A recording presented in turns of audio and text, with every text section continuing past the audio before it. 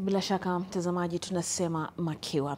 Gavana wa kaunti ya Kakamega ambaye pia ni mwenyekiti wa kifedha katika baraza la magavana nchini, Fernandes Baraza, amesema licha ya kinara wa ODM Raila Odinga kumwidhinisha seneta wa Vihiga Godfrey Osotsi kama mmoja wa naibu vinara wa ODM, yeye yuko imara kama mwenyekiti wa ODM katika kaunti ya Kakamega.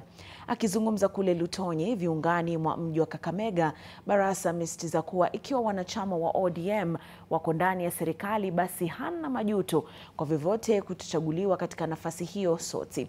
Hata hivyo, chama cha Roots Party kiongozwa na George Wajakoya kimepuzilia mbali uteuzi wa seneta wa Vihiga Godfrey, akisema uteuzi huo hauambatani na katiba ya chama cha ODM.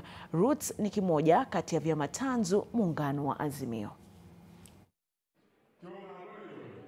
The only opposition party ambayo tuko nayo ni ya Roots.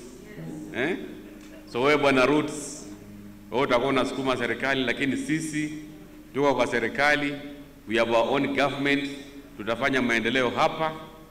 The only issue ambayo tunataka national government especially the national treasury kuhakikisha ni kuleta pesa kwa wakati. Itabidi waende wafanye nini?